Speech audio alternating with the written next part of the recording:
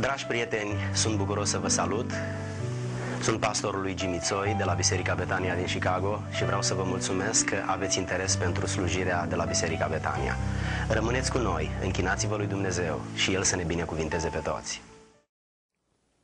În această frumoasă seară de ajun al Crăciunului, anul 2009, prin mila lui Dumnezeu suntem împreună și foarte probabil că sunt și unii dintre noi care sunt aici ca să împlinească o datină, o tradiție, o cultură. Și lucrul acesta este bun pentru că are ocazia să asculte Evanghelia. Noi avem respect pentru valorile părinților noștri, pentru valorile bunicilor noștri, pentru valorile neamului nostru. Însă toate lucrurile acestea sunt pentru aici și reflectă cinstea pentru cultura în care ne-am născut. Căutarea noastră însă, din această seară, trece dincolo de intenția de a ne cinsti strămoșii, trece dincolo de intenția să împlinim tradiția neamului românesc, ea are legătură cu Dumnezeu, nu cu oamenii. Are legătură cu un eveniment care a schimbat lumea și a mântuit oamenii, nu doar cu cei care au fost înainte de noi. De aceea, în seara aceasta sunt foarte bucuros să fim împreună aici și să ne închinăm Domnului citind din Sfânta Evanghelie, dorind să înțelegem sau să ne desăvârșim înțelegerea cu privire la intenția lui Dumnezeu atunci când s-a întrupat în formă de om pentru ca să poată avea o relație cu noi, o relație spirituală pe care să o dezvolte, să ne mântuiască și să ne ducă în locul de unde am căzut prin păcat. În seara aceasta, dragii mei, în urma timpului de muzică, de rugăciune, ne-am închinat împreună Domnului. Acum aș vrea să citim din Evanghelie. Și aproape de fiecare dată când un predicator citește din Evanghelie, se gândește la faptul că dă respect lui Dumnezeu dacă invită ascultătorii să se ridice în picioare. Permiteți-mi, vă rog, să vă invit și eu să vă ridicați în picioare. Dacă aveți la dumneavoastră Biblia, deschideți, vă rog, la Luca, capitolul 2, și vom citi în această seară despre păstorii din Betleem. Luca, capitolul 2, de la versetul 8 până la 20. Să citim cu respect cuvântul Domnului, să facem liniște în interiorul nostru și să facem liniște între noi. În ținutul acela erau niște păstori care stăteau afară în câmp și făceau de strajă noaptea în prejurul turmei lor. Și iată că un înger al Domnului s-a înfățișat înaintea lor și slava Domnului a strălucit în prejurul lor. Ei s-au înfricoșat foarte tare.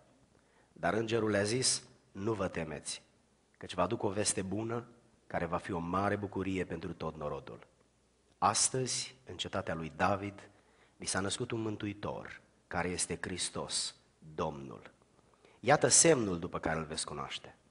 Veți găsi un prunc înfășat în scutece și culcat într-o iesle. Și deodată, împreună cu îngerul, s-a unit o mulțime de oaste cerească, lăudând pe Dumnezeu și zicând, Slavă lui Dumnezeu în locurile prea înalte și pace pe pământ între oamenii plăcuți lui.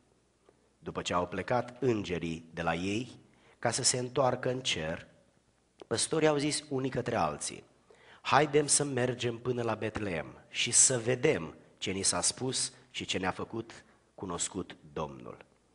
S-au dus în grabă și au găsit pe Maria, pe Iosif și pruncul culcat în iesle.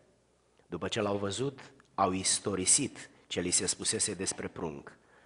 Toți cei ce i-au auzit s-au mirat de cele ce le spuneau păstorii. Maria păstra toate cuvintele acelea și se gândea la ele în inima ei. Și păstorii s-au întors, slăvind și lăudând pe Dumnezeu pentru toate cele ce auziseră și văzuseră și care erau în tocmai cum le spusese. Amin. Mulțumesc, vă invit să vă reocupați locurile.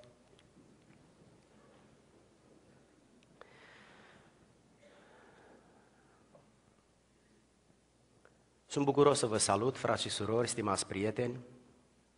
Sunt aici prieteni și rude ale membrilor bisericii care vin din alte state, din alte orașe. Sărbătorile ne pun împreună, pun prietenii, rudele, cunoscuții împreună și zilele acestea pe care le trăim prin mila lui Dumnezeu sunt astfel de zile. Sunt zile de bucurie. Dumnezeu să fie lăudat pentru că împrospătează viața noastră cu astfel de zile care ne odihnesc și care sunt o pauză binevenită în stresul obișnuit și în apăsarea cotidiană. În seara aceasta, dragii mei, pe lângă faptul că astăzi sau când vom ajunge după serviciu acasă, vom sta la masă cu familia, cu prietenii și ne vom bucura mâncând mâncăruri alese, gătite cu grijă, cu gust. Înainte să se întâmple lucrul acesta pentru trupul nostru, care are nevoi și care trebuie împlinite, aș vrea să vă privesc ca pe muritori, asemenea mie, ca pe frați și surori în credință, credința în Isus, în Mântuitorul, și înainte să ne despărțim, să vă spun un cuvânt de la Dumnezeu. Cuvântul acesta de la Dumnezeu este din Biblie, Biblia fiind cartea lui Dumnezeu. Noi oamenii n-am avea niciun reper în lumea aceasta dacă nu ar fi Biblia. Dacă am renunțat la Biblie și la credința în Biblie, atunci dintr-o dată credința noastră nu ar mai avea nicio limită și nicio regulă. Am crede despre Dumnezeu ce ne-ar place și fiecare om ar face din fantezia lui, din experiența lui, din datinile familiei și strămoșilor lui o credință. Dar vine Biblia și spune fiecăruia dintre noi același lucru. De aceea, în seara aceasta, am citit din Biblie și vreau să spun cuvânt din partea lui Dumnezeu din Scriptură. Mesajul meu din această seară, bineînțeles că se numește mesajul Crăciunului. De multe ori v-am spus că în ceea ce mă privește termenul de Crăciun nu este un termen potrivit, dar este împământenit în vocabularul nostru și din respect pentru dumneavoastră, n-am să folosesc întruparea Domnului, eh, care este un termen mai pretențios și se așează mai greu în propoziție și am să spun mesajul Crăciunului. Există Crăciun, sărbătoarea pe care o trăim noi zilele acestea și există un mesaj în aceste zile. Dincolo de mesajul pe care îl purtăm unii altora sau de la unii la alții, există un mesaj pe care îl aduce Dumnezeu pentru noi și mesajul acesta este important. Dumnezeu s-a deranjat ca să aducă în lumea noastră un mesaj. Și de mesajul acesta aveam nevoie. Mesajul acesta este soluția lui Dumnezeu la problema noastră, la durerea noastră, la necazul nostru și la situația noastră fără ieșire. Mesajul acesta ne rezolvă problema, ne explică cum se manifestă dragostea lui Dumnezeu care întâmpină nevoia noastră. De aceea am socotit că este foarte important să vorbesc în seara asta despre mesajul Crăciunului. Dumnezeu comunică voia sa oamenilor și de obicei comunică voia sa prin oameni obișnuiți. În contextul sărbătorii Crăciunului, Dumnezeu a vorbit unor oameni obișnuiți pentru toți oamenii. Și a vorbit prin înger. L-a trimis pe un înger în calitate de slujitor să meargă la câteva persoane și în felul acesta să organizeze venirea glorioasă în lumea noastră a Fiului lui Dumnezeu întrupat într-un copil. Dumnezeu a venit în lumea noastră într-o formă de copilaș, dar copilul acesta a crescut așa cum cresc toți copiii, a devenit un adult și la 30 de ani și-a început misiunea. Și începând misiunea, el a călătorit în Israel, într-o parte și în alta, i-a vindecat pe oameni, uneori chiar i-a înviat din morți și a predicat pocăința de păcat sau față de păcat și credința față de Dumnezeu. Ei bine, vreau să mă opresc puțin la textul pe care l-am citit în această seară și să vă spun că un înger al Domnului a venit la început la unul dintre preoții care slujeau în templu din Israel, la Zaharia și i-a spus ceva ce însemna un lucru supranatural și neobișnuit. Omul ăsta era în vârstă. Soția lui Elisabeta era o femeie vlavioasă, dar era o femeie stearpă, nu avea capacitatea biologică să nască copii. Și toată viața, ca orice femeie căsătorită, și-a, și-a dorit să aibă un copil. Și nu a avut. Acum s-a resemnat și nu mai aștepta un copil, în primul rând pentru că a obosit să aștepte de-a lungul anilor, în incapacitatea ei de a naște, dar mai mult de atât era o femeie bătrână, care în mod natural nu mai putea da naștere unui copil. Și când nu mai exista nicio speranță pentru primirea unui copil, vine Îngerul lui Dumnezeu cu un mesaj și din comun și îi spune acestui bărbat care era slujitor în casa lui Dumnezeu următorul mesaj. Soția ta va naște un copil. Și omul, în ciuda faptului că fiind credincios și slujbaș în casa Domnului, avea încredere în Dumnezeu și în capacitățile fără limita a lui Dumnezeu, este șocat și gândește în experiența lui, în termenii experienței sale. Și se gândește cum să nască soția mea, în primul rând e sterilă, în al doilea rând este în vârstă, este cu neputință să mai nască. Și totuși, soția lui rămâne însărcinată și după 9 luni naște pe Ioan Botezătorul, care a avut drept scop al existenței să pregătească calea gloriosului Mântuitor care s-a întrupat prin Maria Fecioara. Doar că la șase luni după asta, îngerul merge la Maria. Maria era o fecioară. Elisabeta nu putea să nască că era bătrână și stearpă. Două condiții care descalifică o femeie să aibă un copil. De data aceasta, îngerul se duce la o altă persoană de sex feminin, de gen feminin, dar ciudat se duce la o altă extremă, se duce la o fecioară. O fecioară, ca și o femeie stearpă și bătrână, nu poate să nască. Dar îngerul se duce la această fecioară și îi spune, tu o să naști un copil. În pântecele tale, nu prin împreunarea naturală cu un bărbat, cu logodnicul tău care ți este deocamdată logodnic, cu Iosif, ci de la Dumnezeu, în mod supranatural și inexplicabil, tu, în pântecele tale, se va zămisli, se va concepe un copil, va fi de parte bărbătească, îi vei pune numele Isus și el va mântui poporul de păcatele lui. Și fecioara aceasta, în mod inexplicabil și cu totul inexplicabil, dă naștere unui copil pe care îl cheamă Isus, care este Fiul lui Dumnezeu întrupat și el se naște ca și Ioan Botezătorul, care s-a născut cu puțin timp înainte de el. Și acum îngerul, ca unul care știe să organizeze lucrurile, merge și la logodnicul ei. Numai imaginați-vă ce suspiciune a avut acest băiat când a realizat că logodnica lui, care pretindea că este fecioară, dintr-o dată a rămas însărcinată. Nu mai încercați, stimați bărbați, să vă puneți în situația acestui tânăr bărbat, care își iubea logodnica, avea încredere în ea și n-a mai auzit niciodată că o domnișoară, o fecioară, poate să nască. Lucrul acesta nu se întâmplă între noi, ori noi gândim doar între limitele experiențelor noastre. Numai că îngerul vine și de fiecare dată când vine face lucruri neobișnuite. Merge și la Iosif îngerul și îi spune să nu te temi, să nu ai suspiciuni și bănuieli, să știi că ce-ți spune Maria este adevărat. Ea poartă în pântecele ei un copil de parte bărbătească care va deveni mântuitorul și el este conceput de la Duhul Sfânt și așezat în pântecele ei. Și Iosif acceptă.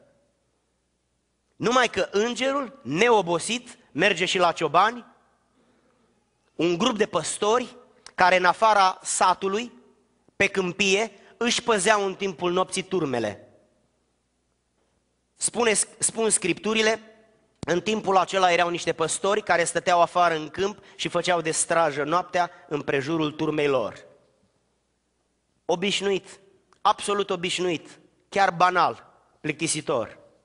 Și în contextul acesta apare miracolul. Într-un astfel de context a apărut miracolul la Zaharia. Era obișnuit, făcea lucrul acesta de ani de zile. Slujea înaintea Domnului, de obicei făcea asta. A venit îngerul la Maria, era noaptea. Era obișnuit. A venit îngerul la Iosif, era obișnuit. Într-un moment obișnuit, a venit îngerul la Ciobani, era obișnuit. Numai că acest obișnuit a fost dintr-o dată sfășiat de ceva ieșit din comun. Un înger vorbește acestor muritori spunându-le următorul mesaj. Astăzi în cetatea lui David vi s-a născut un mântuitor. Marea problemă este că toți s-au mirat, s-au speriat și n-au știut ce să creadă. Și fiecare au reacționat în funcție de anumiți factori. Factori de temperament, de caracter, de experiență și de circumstanță și așa mai departe. În seara aceasta, noi suntem într-o situație mult mai complicată decât fiecare dintre ei. Pentru că noi suntem parte nu doar la minunea unuia dintre ei, ci suntem parte la toate minunile puse în același loc. Noi știm și despre miracolul din viața lui Zaharia, și despre miracolul din viața Mariei și al logodnicului ei Iosif, și despre miracolul din viața celor ciobani. Și în seara aceasta Dumnezeu, prin experiențele acestea, face din timpul pe care îl petrecem aici împreună o experiență. Nu știu cum ai de gând să te raportezi la această experiență. Dar oamenilor acestora, cărora le-a vorbit Dumnezeu prin înger, Dumnezeu le-a schimbat viața. În seara aceasta, Dumnezeu are aceeași intenție, să ne schimbe viața. Dumnezeu nu vrea să decoreze sărbătoarea ajunului de Crăciun doar. Dumnezeu nu vrea să facă o slujbă deosebită în Biserica Betania de pe Calduel din Niles doar. Dumnezeu vrea să-ți vorbească. Dumnezeu are un mesaj care îți va schimba viața. Și observați, vă rog, că mesajul acesta al îngerului, ca și apariția lui în sine, îi șochează pe păstori. Oamenii aceștia sunt speriați, sunt dezorientați, nu știu ce se întâmplă, au auzit probabil și ei de la părinții, de la străbunii lor, despre tot felul de angelofanii, adică manifestări fizice vizibile ale unor îngeri sau de teofanii, manifestări vizibile fizice ale lui Dumnezeu Teos, și acum au harul, au onoarea să vadă în toiul nopții o astfel de arătare. Este unică, este incredibilă, este inexplicabilă, este supranaturală. Și oamenii ăștia evident să sperie. Păi vezi un șoarice sau un păianjen în camera ta și te sperii. Dar oamenii ăștia au văzut un înger. Și îngerul are un mesaj pentru ei. Mesajul pentru ei este mesajul pentru noi. Și uitați care este mesajul. În primul rând, nu vă temeți. Cuvintele îngerului au fost rostite către un popor speriat, către un popor vulnerabil. La momentul acela, națiunea evreilor era părăsită de Dumnezeu. Era părăsită de autoritatea, de faima, de celebritatea pe care a avut-o cu mai multe sute de ani înainte, când David și Solomon au făcut din această națiune o putere militară care a înspăimântat pe toți vecinii. Astăzi, în vremea aceea, erau robiți de romani. Erau speriați și strângeau puțini bani ca să facă suma necesară plătind taxele la Imperiul Roman. Nu mai aveau nicio speranță. Au așteptat sute de ani să vină Mesia. Au crezut ori de câte ori un proroc a vorbit că acela va fi Mesia, ori de câte ori s-a întâmplat o minune, au crezut că atunci va veni Mesia. Și Mesia n-a venit. Mai mult de atât, de aproximativ 450 de ani, de la Maleahi, vocea Domnului nu s-a mai auzit prin revelație, prin descoperire dumnezeiască. Poporul s-a îndepărtat și mai mult de Dumnezeu. Vocea Domnului n-a mai descoperit, n-a mai corectat, n-a mai mustrat, n-a mai învățat. Și oamenii ăștia s-au îndepărtat cu totul de Dumnezeu. Nu mai aveau nicio speranță, probabil, cei mai mulți dintre ei. Și acum, îngerul vine și le spune, nu vă temeți. Există suficiente motive să ne temem. Ne temem de ziua de mâine, ne temem de întunericul nopții, ne temem de plicurile care sunt puse în cutia poștală, plicuri care conțin obligațiile noastre financiare față de visele de ieri pe care le-am făcut la băncile din America. Tot felul de mesaje care vin în viața noastră ne sperie. Ne sperie faptul că ni se fac copiii mari. Ne sperie faptul că trebuie să le facem nunți, că nu mai suntem la fel de stabili financiari ca și anii trecuți. Ne speriem de faptul că o boală își face apariția și ne aducem aminte că un vecin de-al nostru a murit având durerea unde ne doare pe noi astăzi. Și ne speriem de o grămadă de lucruri. Și în seara aceasta mesajul Crăciunului este nu vă temeți. Doamne, cum să nu mă tem? Eu am venit din România cu alte vise. Am crezut că în 20 de ani mă realizez și sunt de 25 de ani aici și sunt la fel ca la început, Doamne, nu mai am nimic. Doamne, de ani de zile mă doare într-un anumit loc, m-am căutat la toți doctorii și nu găsesc soluție pentru vindecarea mea. Doamne, și lista poate continua. Nu mă înțeleg cu omul ăsta, au trecut 20 de ani, m-am resemnat. Și îngerul spune fiecărei probleme și fiecărui om, nu vă temeți. Dacă în seara aceasta de Crăciun ați venit aici doar pentru că un prieten, membru al Bisericii Betania, a fost foarte insistent și v-a invitat să fiți, ați venit pentru puțin lucru. Ați venit speriați și veți pleca speriați. Ați venit dezamăgiți și veți pleca dezamăgiți. Ați venit cu o problemă și veți pleca cu două. A doua este că nu-L credeți pe Dumnezeu pe cuvânt. Dar dacă în această seară ați venit aici să ascultați ce spune gura Domnului care va da viață, care a fost în stare să vă poarte de grijă peste tot pe unde ați trecut într-o viață de muritor până în această seară, atunci mesajul acesta va avea influență asupra dumneavoastră. Când cineva cu autoritate vorbește, sunteți tentați să aveți încredere în el, pentru că el știe ce spune. Nu este o persoană obișnuită. În numele Domnului există autoritate și în cer și pe pământ. El poate să vindece orice boală. El poate să întoarcă acasă orice copil. El poate să domesticească orice partener de viață. El poate să rezolve orice problemă, poate să împlinească orice nevoie. El poate să vorbească celor de la immigration, el poate să facă orice lucru, pentru că numele lui este Domnul Domnilor și este Împăratul Împăraților. Mesajul lui prin înger în această seară pentru fiecare inimă de muritor este nu te teme. Nu te teme nici de faptul că ai de gând să te căsătorești și nu ești sigur sau sigură cu ce ai de gând să faci. Nu te teme! Nu te teme de nimic, Domnul este cu tine.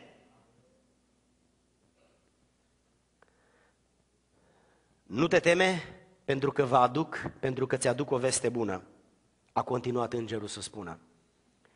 Dragii mei, cu mult timp în urmă în grădina Edenului, omul creat de Dumnezeu și alături de el și soția lui Eva, s-au bucurat de harul și de părtășia Domnului răcoarea dimineții și de toate privilegiile pe care le considera viața la momentul acela în dimensiunea în care ei erau, erau așezați, fără să îmbătrânească, fără să se îmbolnăvească, fără să moară, fără să aibă lacrimi, fără să muncească pentru existența lor ca și noi astăzi, fără să nască cu copii, cu durere copii și așa mai departe.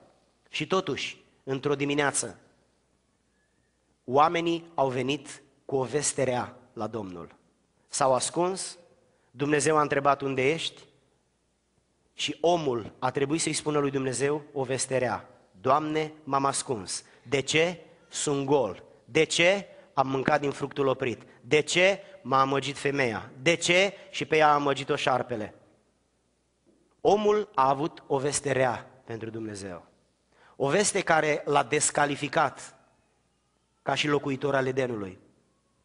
O veste care l-a izolat pentru întotdeauna de Dumnezeu. O veste care l-a coborât într-o dimensiune a existenței plină de durere, de singurătate, de neîmplinire, o veste care l-a coborât să muncească în țărâna pământului pentru câștigarea existenței, o veste care i-a dat femeii capacitatea să nască, dar de data aceasta cu durere. Și vestea aceasta a fost o veste rea pe care oamenii au dat-o lui Dumnezeu. Au trecut de atunci multe sute de ani și Dumnezeu a tăcut.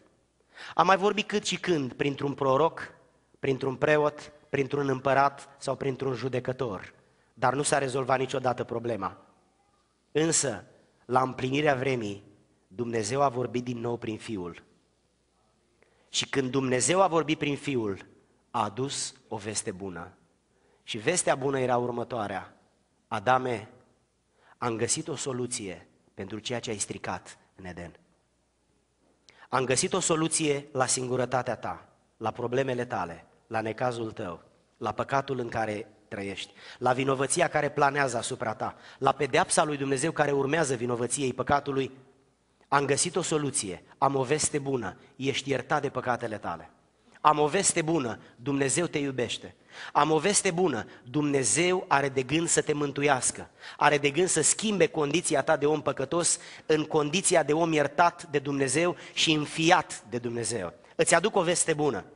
Aceasta este vestea pe care Dumnezeu a adus-o oamenilor prin înger. Omul a avut o veste rea față de Dumnezeu. Doamne, te-am necinstit, ți-am fost infideli și necredincioși, nu ne-am ținut de cuvânt, l-am crezut pe diavolul care ne-a promis că vom fi ca tine, nu pe tine care ne-ai creat asemenea ție. Doamne, am vrut să ți-o luăm înainte, am vrut să fim mai mari, mai importanți, că numai asta avem în cap. Dar văd că Tu ai de gând să ne ierți, ai de gând să repar ceea ce am stricat. Dumnezeu a adus o veste bună. Vestea bună este că Dumnezeu repară tot ceea ce ai stricat până în seara aceasta dacă vrei să te pocăiești de păcate și să crezi în Isus Hristos. Mesajul Crăciunului este nu te teme, Dumnezeu are o veste bună pentru dumneata. Apoi, îngerul continuă și spune, vestea bună pe care o am va fi o mare bucurie pentru tot norodul. O mare bucurie pentru tot poporul. Uitați-vă la fețele oamenilor și o să întâlniți crispare, sobrietate în exces. Pe fețele oamenilor se citește oboseala, stresul, îngrijorarea. Momentele când oamenii au oportunitatea să se bucure sunt rare și scurte, pentru că și-au făcut multe vise care acum își cer prețul să fie plătit. Însă Îngerul lui Dumnezeu trece dincolo de dimensiunea aceasta a lumii materiale pentru care ne culcăm și ne trezim și ne spune vestea pe care vă aduc va fi o mare bucurie pentru toți oamenii, dar absolut pentru toți oamenii. Vestea aceasta produce bucurie. Pentru că vestea aceasta nu doar că te face, nu, nu te face bogat neapărat, nu te vindecă neapărat, nu-ți rezolvă problemele așa cum te aștepți tu neapărat, dar vestea aceasta te face copilul lui Dumnezeu. Vestea aceasta te pune în mâna lui Dumnezeu. Vestea aceasta te duce în inima lui Dumnezeu. Vestea aceasta este că Dumnezeu te protejează, că Dumnezeu pune de jur împrejurul tău garda ta de îngeri și din creștetul capului până în talpa piciorului, Dumnezeu te înfășoară cu binecuvântare. Dumnezeu te înfășoară pe dinainte și pe dinapoi. Este vestea că Dumnezeu se luptă pentru tine. Că Dumnezeu îți poartă de grijă, că Dumnezeu îți cunoaște nevoile, că Dumnezeu se implică în viața ta, că Dumnezeu are grijă de tine și își asumă responsabilitatea să se ocupe de toate problemele tale, în primul rând spirituale. Vestea aceasta trebuie să-ți producă bucurie. Cine este omul care se angajează în orice zi să-ți poarte de grijă? Sună pe cel mai bun prieten și uneori îți va spune, îmi pare rău, dar sunt ocupat. Sună chiar pe unul dintre cei doi părinți care ți-au dat viață și probabil că uneori îți va spune, îmi pare rău, dar mă duc la doctor, sunt bolnav. Nimeni nu-i disponibil în fiecare zi. Dar cel care în fiecare zi și în fiecare noapte, la fiecare examen, la fiecare boală, la fiecare ezitare, la fiecare problemă, la fiecare lacrimă, la fiecare oftat, absolut la fiecare, este lângă tine, este Domnul. Și El spune, lucrul acesta e o mare bucurie pentru tine. Lucrul acesta este o mare bucurie pentru viața ta. Trebuie să te bucuri. Dumnezeu te iubește. Doar un înger să-mi dea Domnul să fie al meu personal. Ar fi mai mult decât extraordinar. Dar nu un înger, ci El însuși a promis că va fi cu mine. A spus, niciodată n-am să te las, cu niciun chip nu te voi părăsi. Am să fiu cu voi în fiecare zi, până la sfârșitul veacurilor. Faptul că Dumnezeu ne spune să nu ne temem, înseamnă că Dumnezeu știe ce spune. Faptul că Dumnezeu ne promite o veste bună, Dumnezeu nu numește orice veste bună. Și faptul că Dumnezeu ne spune să ne bucurăm, înseamnă că Dumnezeu vrea să ne ofere ceva ce este într-adevăr un dar la nivelul măreției sale. Lăudat să fie numele Său. De ce să ne bucurăm? De ce să nu ne temem? Care e vestea bună? Îngerul încheie spunând, vi s-a născut un mântuitor care este Hristos Domnul. Slavă Domnului! Vi s-a născut un mântuitor, este al vostru, este pentru voi, este pentru rezolvarea problemelor voastre, este pentru iertarea păcatelor voastre, este pentru vindecarea problemelor și bolilor voastre, este al vostru. Se deschide cerul și un mântuitor coboară la voi. Mi-aduc aminte de Israel, a trăit în teocrație. Singurul popor fără rege, Dumnezeu era regele lor. Și poporul acesta s-a răzvrătit împotriva regelui lor Dumnezeu. Și a mers la omul lui Dumnezeu spunând, de astăzi înainte vrem și noi să avem un om împărat peste noi. Și omul acesta s-a speriat și s-a mirat. Și Dumnezeu a vorbit acestui bărbat și i-a spus să nu te sperii și să nu te miri. Pentru că cererea lor exprimă necredința și nebunia lor pe care o vor plăti. Și oamenii aceștia au cerut să aibă și ei ca împărat un om, nu pe Domnul. Vreau să aibă un împărat pe care îl văd ei. Un împărat ca ei, un om din carne care să înțeleagă, care să fie asemenea lor. Și Domnul le-a ascultat rugăciunea și le-a dat un împărat. Și împăratul acesta a fost Saul. Era un bărbat înalt, puternic, dar era un om. un om cu multe probleme de caracter, un om cu multe probleme în valori, în priorități și în convingeri. Și omul acesta a adus foarte multe din problemele din viața lui în viața poporului. Și oamenii aceștia au avut tot felul de împărați. Și oamenii aceștia le-au făcut din ce în ce mai mult rău. Și la un moment dat Dumnezeu vine și spune, vreau din nou să devin împăratul vostru. Vreau din nou să mă ocup de voi. Pentru că pastorii voștri, pentru că prorocii voștri, pentru că învățătorii voștri, toți se uită după foloasele lor. Toți privesc lucrurile în maniera lor. Nimănui nu-i pasă de voi așa cum îmi pasă mie. Eu sunt Dumnezeul vostru. Eu am murit pentru voi. Eu v-am născut. Eu v-am zămislit din frământătura pământului. De astăzi înainte, eu sunt împăratul vostru. Este o veste bună că Dumnezeu din ceruri se face om, vine la noi și ne promite faptul că de astăzi înainte ne va conduce El. Ne va conduce viața, ne va conduce familia, ne va conduce în problemele noastre. El nu ne va scuti de suferință, dar va fi cu noi în suferință. El nu ne va scuti de boli și probleme, dar va fi cu noi în ele. Noi vom avea o viață ca toți ceilalți muritori, vom trece prin ea, dar El va fi cu noi. Și dreapta Lui biruitoare, mâinile Lui străpunse vor fi protecția noastră și nu vom, fi, nu vom mai fi niciodată singuri. De aceea nu trebuie să ne temem. Nu trebuie să ne temem pentru că Dumnezeu va fi împăratul nostru. Este o veste bună pentru că Dumnezeu este împăratul nostru. Trebuie să ne bucurăm pentru că Dumnezeu este împăratul nostru. Și atunci, în concluzia acestui mesaj, spune evanghelistul Luca că s-a unit cerul cu pământul și îngerul, alături de un cor îngeresc, au început să cânte spunând Slavă lui Dumnezeu în locurile prea înalte și pace pe pământ între oamenii plăcuți lui. Asta înseamnă că mesajul îngerului a spus următorul lucru. Excelența din ceruri să se coboare pe pământ și să se unească cu pământul. Atunci când Hristos a venit pe pământ, cerul întreg a venit cu El.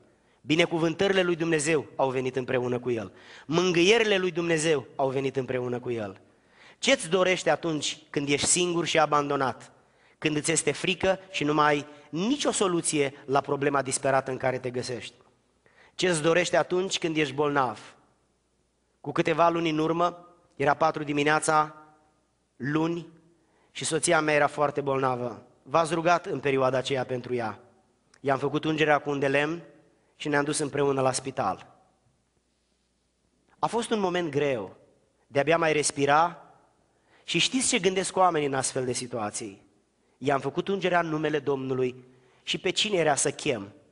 Puteam să chem pe unul dintre pastori, puteam să chem comitetul bisericii, puteam să chem unul dintre dirijori, dar cu ce ar fi putut ei să mă ajute? Să plângă cu mine? Eu aveam nevoie de mai mult decât să plângă cineva cu mine.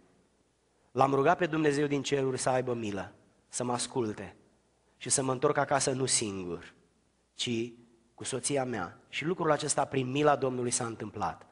Eu știu că și dumneata ai trecut pe aici de multe ori, soțul cu soția sau soția cu soțul, părinții cu copiii sau copiii cu părinții.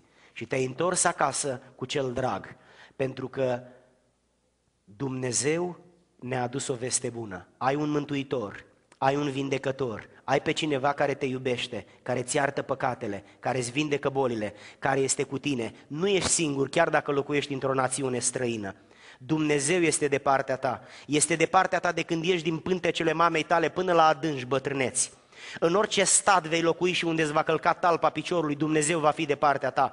Indiferent cât de mulți și cât de mari și puternici vor fi dușmanii tăi, Dumnezeu va fi de partea ta. Oricât de înspăimântător va fi diagnosticul pe care îl pronunță doctorul, Dumnezeu va fi de partea ta. În orice situație vei intra cu soțul, soția, copiii, părinții, cu datoriile, cu serviciu, cu alte probleme care le implică existența, Dumnezeu va fi de partea ta. Va fi de partea ta pentru că a promis Dumnezeu că nu vei avea motive să te temi. A promis Dumnezeu că are o veste bună. A promis Dumnezeu că îți va crea motive să te bucuri. Și motivul acesta se concretizează în venirea în lume a lui Hristos. Din cer a coborât Dumnezeu Fiul și a venit între noi. Și atunci când a plecat, a știut că o să ne lase singuri, a știut că o să ne temem, a știut că o să intrăm din nou în panică, a știut că o să ne doară singurătatea, ca înainte să vină El. De aceea a spus să nu vă speriați, eu plec, dar nu vă las singuri. O să las cu voi pe cineva asemenea mie. Dumnezeu Duhul Sfânt va rămâne cu voi. Eu mă duc pentru că vreau să vă pregătesc un loc. Mă întorc în glorie, pentru că acolo vreau să vă pregătesc locul. Nu va fi de niciun folos să vă fac un palat pe pământ. O să vă îmbolnăviți într-o zi și o să rămână copiii voștri în palat. Și o să moară și ei la vremea lor și o să rămână nepoți în palat. Dar voi veți muri într-o zi. Vreau să vă duc în cer și acolo să nu mai muriți niciodată. Și acolo să nu mai existe capacitatea să plângi, să suferi, să ai nevoi neîmplinite. Acolo vei fi așa cum a fost omul înainte să cadă în păcat. Vei trăi într-o dimensiune pe care acum nu o pricepi, dar mă duc acolo și am să-ți fac un loc. Și până atunci Duhul, Duhul lui Dumnezeu va rămâne cu voi. Și El o să vă aducă aminte de toate lucrurile. El o să fie cu voi în fiecare zi. El o să vă învețe tot ceea ce nu știți. El o să vă dea putere să mergeți și să faceți lucrare demnă în numele Domnului. El o să fie cu voi și cu copiii voștri. El o să fie cu biserica lui Dumnezeu. Dar ascultați-mă, într-o zi o să mă întorc. Și o să vă iau pe fiecare dintre voi oriunde sunteți, pe fundul oceanelor, în țărâna pământului, în viață, oriunde veți fi, sau în moarte. Pe toți am să vă strâng de oriunde sunteți, în universul acesta, morți sau vii, pe cei care ați adormit în Hristos sau care trăiți în Hristos. O să vă strâng pe toți și o să vă duc acolo unde v-am promis. Eu sunt un Dumnezeu care mă țin de cuvânt. Diavolul este sub talpa picioarelor mele. Cerul și pământul este proprietatea mea. Eu sunt cel care te-am creat, eu sunt cel care am creat universul și toate legile care îl conduc sunt așezate de mine. Eu sunt Domnul în cer și pe pământ, să nu te temi. Alungă teama din inima ta și pune în locul ei încrederea că Dumnezeu te iubește. Atât de mult te iubește Dumnezeu, încât a trecut prin experiența întrupării printr-o fată, printr-o fecioară, a fost copil în casa unui tâmplar, a umblat desculț pe străzile din Israel și a acceptat ca să fie lovit cu bățul, cu nuiaua, cu pumnii, cu biciul. A fost condamnat de oameni, oameni care ar fi trebuit să fie condamnați de el. A fost condamnat la moarte prin crucificare și pe un lemn și a dat Duhul spunând, Tată, în mâinile tale mi încredințez Duhul, dar înainte să spună asta a spus, iartă-i, fiindcă nu știu ce fac. Și prin lucrarea aceasta de moarte în locul nostru a câștigat poziția de mântuitor și astăzi El ne mântuiește de păcatele noastre. Mesajul Crăciunului nu este mâncare, nu este o zi liberă, nu este băutură. Mesajul Crăciunului nu înseamnă cămașă sau cravată roșie. Mesajul Crăciunului nu înseamnă o slujbă specială, cor sau fanfară. Mesajul Crăciunului nu înseamnă nimic din ce facem noi pe pământ oamenii. Mesajul Crăciunului înseamnă că a venit Dumnezeu la noi ca să ne ducă pe noi la El. Mesajul Crăciunului înseamnă că Dumnezeu ne iubește și ne promite faptul că ne duce în cer și că până atunci nu trebuie să ne temem de nimic, că El este de partea noastră, ne poartă de grijă, se ocupă de neîmplinirea nevoilor noastre, ne binecuvintează, ne ridică. Și lucrurile acestea le face doar pentru că ne iubește. Și în numele Domnului care a venit pe pământ să se facă om, ca pe noi să ne facă fiii lui Dumnezeu. Dragi oameni ai lui Dumnezeu, am onoarea în seara aceasta să petrec ajutul de Crăciun cu dumneavoastră și să vă spun din partea Domnului mesajul acesta din gura lui Dumnezeu. Aveți motive să vă temeți. Nu sunteți decât oameni. Aveți o grămadă de probleme care vă încovoaie, vă apasă, vă îndoaie. Însă în seara aceasta Dumnezeu care știe ce spune, face următoarea promisiune. Eu sunt Domnul tău, să nu te temi. Să te bucuri crezând și sperând că eu îți vin în ajutor, că mă lupt pentru tine, că mă implic în problema ta, în situația ta și să ai încredere în mine că sunt în stare să te duc în cer dacă te pocăiești față de toate păcatele din trecut și dacă crezi că eu sunt Dumnezeul tău. Aș vrea să ne pregătim inima, să spunem cuvinte de rugăciune Domnului, însă înainte de aceasta aș vrea să vă invit pe fiecare dintre dumneavoastră să reacționați la cuvântul acesta. Este o nouă seară de ajun de Crăciun. Mi-aduc aminte de seriile copilăriei, ajunul de Crăciun. N-am avut părinți și mă uitau la colegii mei care de sărbători aveau câte o banană sau câte o ciocolată. Și mi-aș fi dorit foarte mult lucrul acesta. Astăzi știu că am acasă și banană și ciocolată, dar acum nu mai gândesc ca un copil. Visul meu nu este doar o banană, nici doar o ciocolată. Visul meu astăzi este un vis de adult. Este un vis de om care a plâns destul. Un vis de om care s-a săturat de pământ și care știe că deasupra pământului există cer și în cerul acela există Dumnezeu și aș fi fost și eu dacă nu păcătuiam. Dar eu am păcătuit și nu merit să ajung acolo. Însă Dumnezeu mi-a spus printr-un înger că l-a trimis pe Isus să-mi ia toată rușinea, toată neisprava de care m-am făcut vinovat înaintea Domnului, să-mi ierte păcatul, să-mi repare condiția, să-mi ia vinovăția, să mă îndreptățească înaintea lui Dumnezeu. Și în seara aceasta nu mai vreau doar banane și ciocolată. Vreau iertare, vreau vindecare, vreau prezența și binecuvântarea lui Dumnezeu în viața mea și în casa mea. Vreau să fiu sigur că Dumnezeu mă iubește, că nu pleacă de la mine, că nu mă lasă singur, că este alături de mine și călătorește cu mine pe drumul vieții, care este așa de greu pentru mine. Eu sunt doar un muritor ca și dumneata, eu sunt slab ca și dumneata, sunt vulnerabil ca și dumneata, dar alături de noi este Domnul care a făcut cerul și pământul. Te întreb doar, ce se întâmplă cu cineva care este aici și nu-i mântuit? Cine umblă cu omul ăsta? Cine șterge lacrimile? Cine iartă păcatele? Cine îi vindecă bolile? Cine îl ascultă în toiul nopții când se roagă pentru el sau pentru unul dintre membrii familiei? Cine? Pentru că Domnul este departe de el, fiindcă el este departe de Domnul. În seara aceasta a ajunului de Crăciun, vreau să invit pe cei care sunt copiii Domnului prin legământ să se încreadă în Dumnezeu în toate problemele vieții. Dar vreau să invit pe cei care nu sunt copiii Domnului prin legământ datorită circumstanțelor vieții, vreau să invit în această seară aici, în ajunul de Crăciun al anului 2009, să pună armele necredinței jos, să se smerească în fața Domnului coborându-se din iluzia unui orgoliu fără acoperire și să spună, Doamne, mă căiesc de anii trăiți fără Tine, îmi pare rău, Doamne, de tot ceea ce Te-am supărat, de păcatele care le-am făcut, îmi pare rău, Doamne, că n-am ascultat sfaturile părinților mei, că am procedat altfel decât trebuia, însă experiențele vieții tot aici m-au adus, dar mai târziu cu câteva zeci de ani. Dacă în seara aceasta sunt oameni care vor să se pocăiască în ajunul de Crăciun al anului 2009, aș vrea să mă rog în mod personal pentru dumneata și pentru sufletul dumitale. Nu rugăciunea mea te iartă, credința dumitale te iartă. Pocăința dumitale te iartă. Dacă crezi în Isus că e Mântuitorul,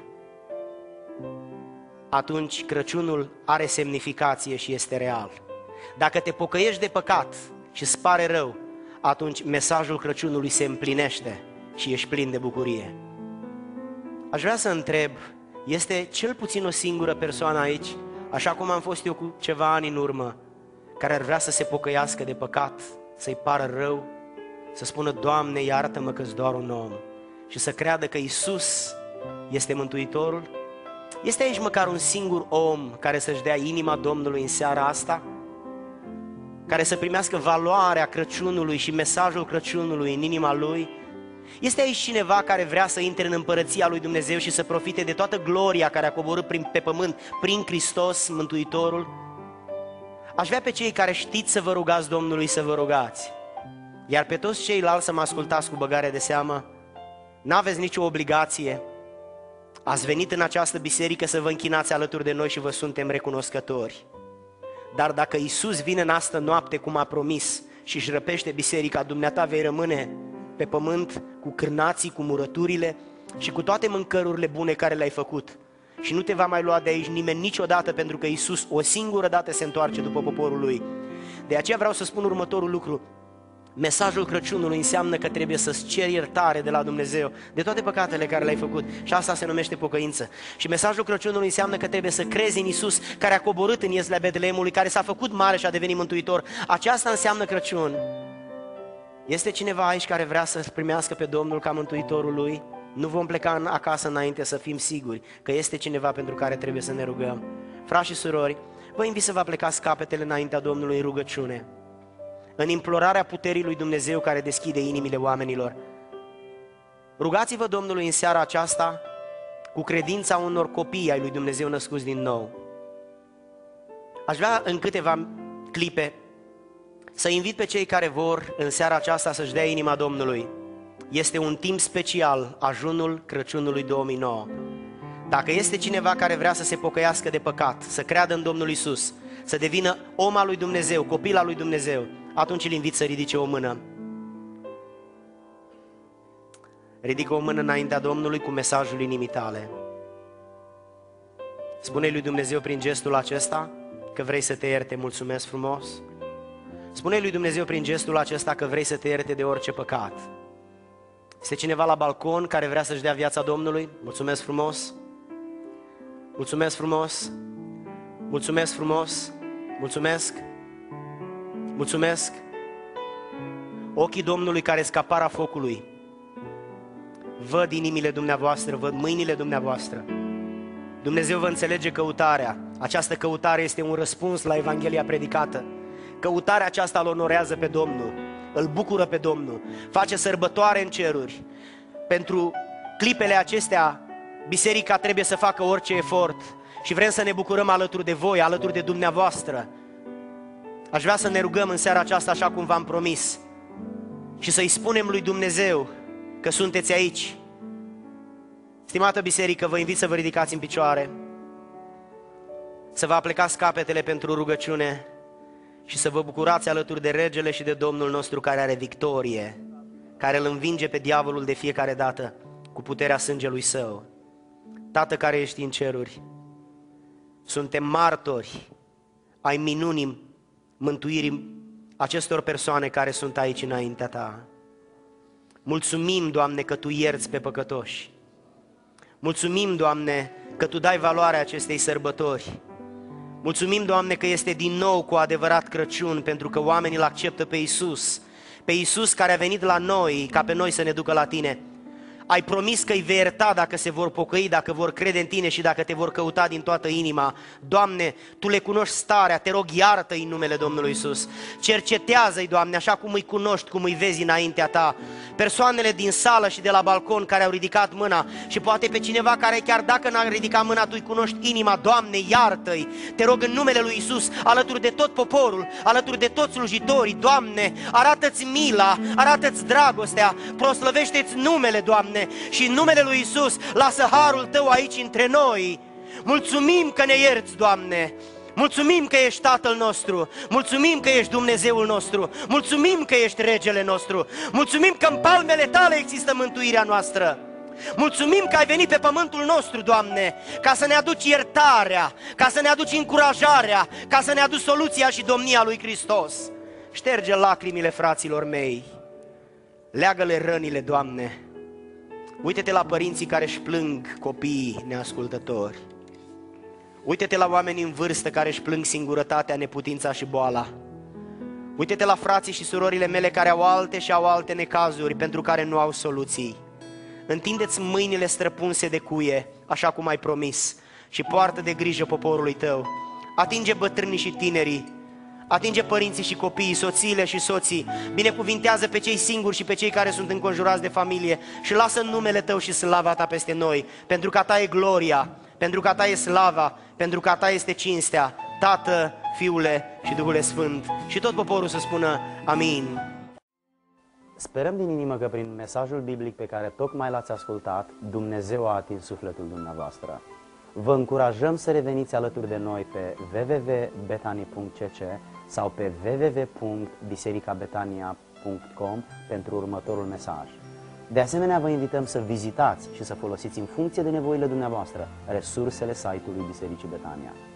Dacă aveți nevoie de rugăciune sau de ajutor în înțelegerea scripturilor, vă invităm să ne scrieți la adresa de e-mail luigi.betani.cc Până data viitoare când ne vom închina și vom studia Biblia împreună, ne rugăm lui Dumnezeu să vă binecuvinteze viața, familia și viitor.